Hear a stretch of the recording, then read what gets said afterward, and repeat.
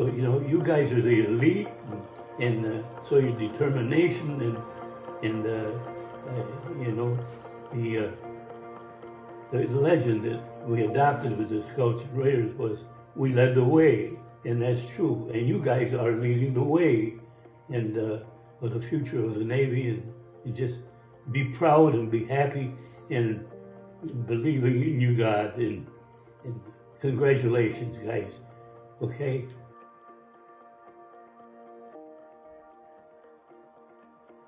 I always wanted to be in the Navy. It seems like uh, I, I, certainly wasn't uh, enthusiastic about going in the Army. Like I say, after got out of high school, uh, we I just be, decided to go in the Navy, uh, uh, six guys, and so that's, that's my it. desire was to get in the Navy, and I yeah. finally made it. You know. They tried to have that Hell Week, and and uh, it got to be uh, really hell, you know. Yeah, yeah. mean, everybody meaner than hell. Yeah. the amazing thing, I mean, uh, when we went in there with, with small boats into Arzul in Casablanca, mm-hmm. was the uh, reconnaissance that we were training to, you know, all of a sudden it all became, became real. It was right there in front of us. Yeah. Know?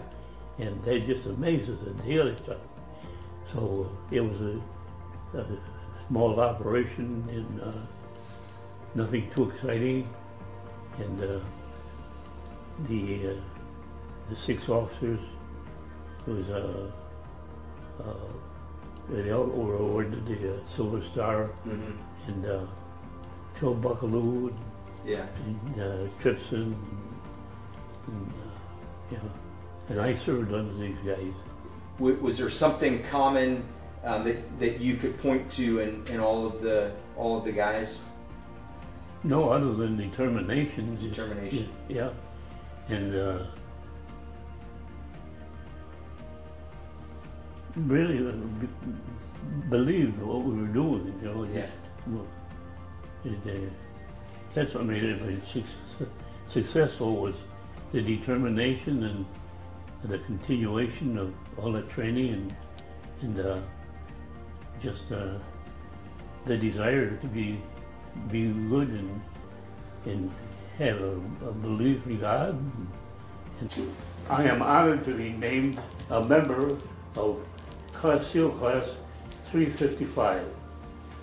Uh, in effect, the establishment of the Scouts and Raiders Underwater Demolition Team and the frogman during World War II could be considered ground zero for today's SEALs. Over the years, uh, you adopted the, uh, motto, we live the way. Today's graduating class is proof of that. Then, as now, the Navy serves uh, a proud nation I salute each of you and I urge you to trust in God, be a good man and a teammate, and always keep your powder dry.